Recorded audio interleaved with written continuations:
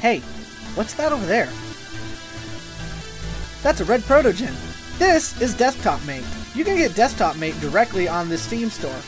Unfortunately, there's not a lot that you can do with it right now, but hey, it's cute and adorable. Now you're probably asking, wait, how did you get a protogen? This is the original model. I have Miku for free. The devs are not gonna like this. Don't blame me, blame the mods that exist. But for the sake of argument, there you go. Now you're asking, how do you get this? You're going to need a handful of things.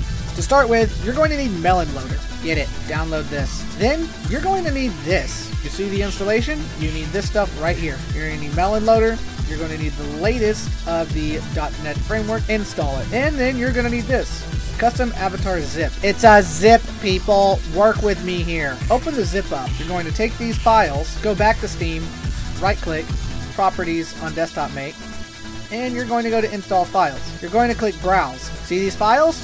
Move them over here. You already have a user lib file, but don't worry about it. It's just to fix it, just say yes. There you go. Now you have mods right here. You have a custom avatar loader. If it ever create, if anybody ever creates anything else, you can throw it right into this mods folder and it should automatically run. And it is simple as that. And once you have the characters you want, you can hit F4 and do it. They're probably asking, where do I get a character? Go to Vroid Hub. Use this model. It's going to have a long stream of numbers. I highly recommend renaming this. I do not endorse this, but I'm just saying if you want it, this is where it's at.